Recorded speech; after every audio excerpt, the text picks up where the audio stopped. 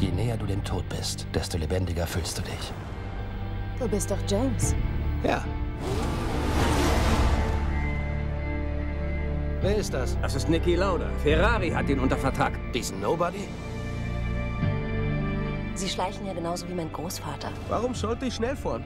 weil ich Sie darum bitte.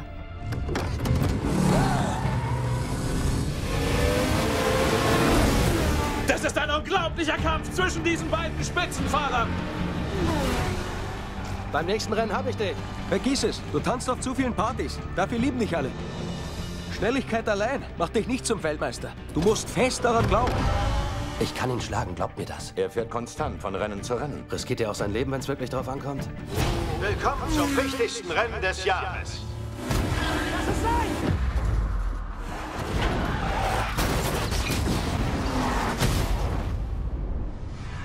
Ich fühle mich verantwortlich für das Geschehene. Wenn ich sehe, wie du Rennen gewinnst, während ich um mein Leben kämpfe, dann bist du auch für meine Rückkehr in die Formel 1 verantwortlich. 42 Tage nach dem furchtbaren Crash ist Niki Lauda heute wieder am Start. Stärker als die Angst vor dem Tod ist der Wille zum Sieg.